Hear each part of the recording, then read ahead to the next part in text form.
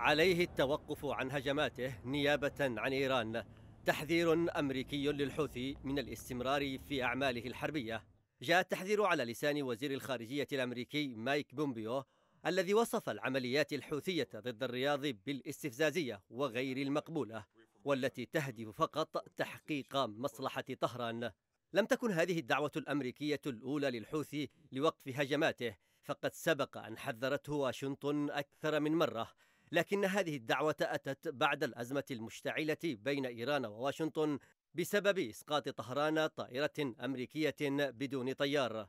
الأمر المثير للانتباه بالنسبة للمراقبين هو توقف تعامل واشنطن مع الحوثي عند سياسة التحذير دون حتى التلويح بفرض عقوبات عليه كما تفعل مع طهران.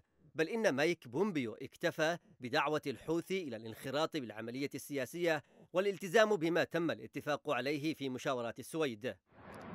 تأتي التحذيرات الأمريكية لميليشيا الحوثي مع إعلان السعودية اعتراض وإسقاط طائرة مسيرة حوثية كانت في طريقها إلى خميس مشيط. في الوقت الذي ادعت فيه الميليشيا تنفيذ عملية هجومية على مطاري أبها وجيزان بالتزامن مع شنها قصفا مدفعيا على مواقع عسكرية للحكومة والتحالف شرق وجنوب مدينة الحديدة.